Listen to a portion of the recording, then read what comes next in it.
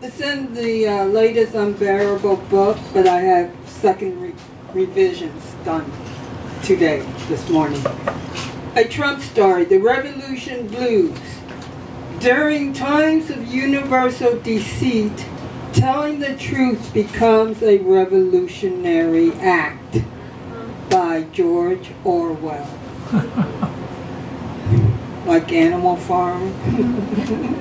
okay, the rich in New York City are having a revolution on the poor people.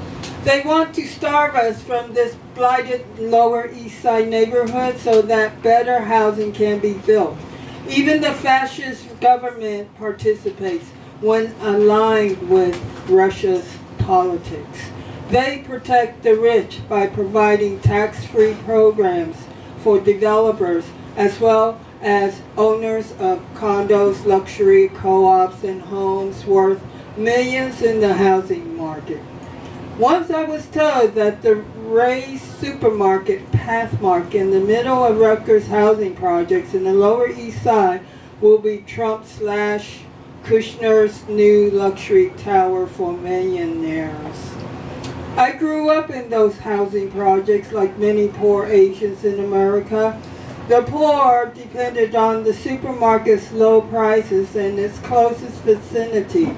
Now the poor have to walk over to Grand Street or to Delancey Essex Street Market. This methodology slowly causes starvations, famines, and deaths in the community. The revolution has begun when Trump announced his candidacy for presidency. Once the Pathmark and construction for the luxury condo began by Kushner's agency.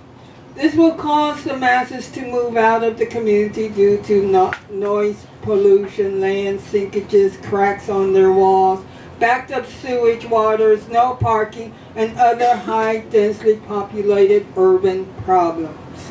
When the tower is completed, with the rich moving in, crimes will increase caused by the poorer minorities and immigrants become enraged with evictions and becoming homeless.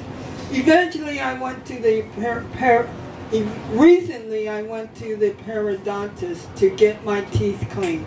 He has a lawyer patient who admitted that he has 40 clients interested in buying apartments.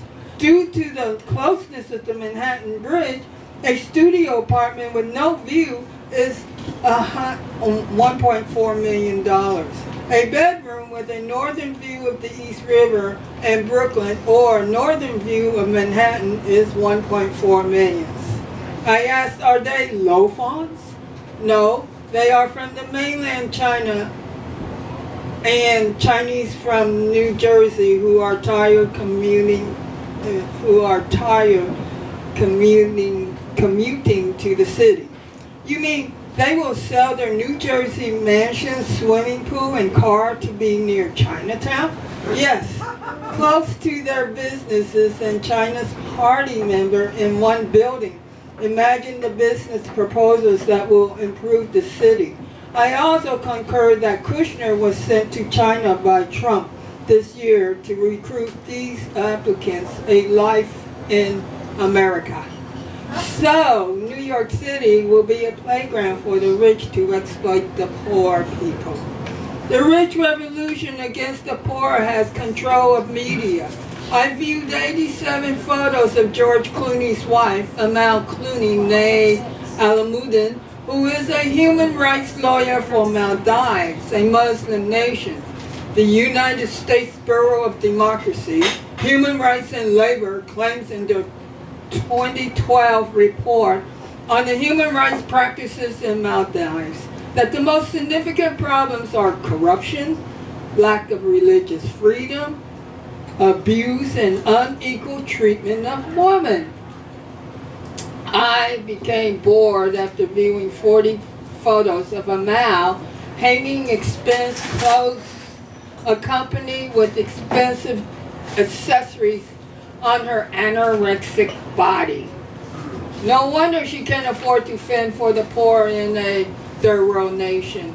The contradictions are prevalent like Hollywood movie produced by stockbrokers.